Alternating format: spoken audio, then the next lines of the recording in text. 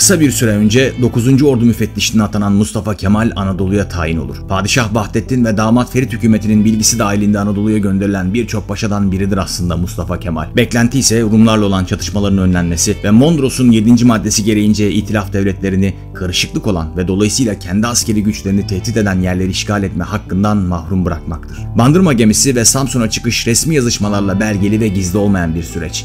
Bunların kaydı var. Fakat ilerleyen zamanlarda ülkeyi mandaya teslim etmek isteyen saray ve Babı Ali zihniyetiyle ters düşen Mustafa Kemal, milli mücadeleyi örgütleyip Havza genelgesiyle de Kurtuluş Savaşı'nın ilk adımını atıyor. Sonraki süreç bilindiği üzere askerlikten ihracı, rütbelerinin geri alınması ve hakkında idam fetvası şeklinde devam ediyor. İlerleyen dönemde Kuvayi Milliye'nin güçlenmesi, paşanın dehası ve Türk milletinin üstün gayretiyle bugün bu topraklarda hür bir şekilde yaşama imkanı yakalıyoruz. Sevgi ve hürmetle.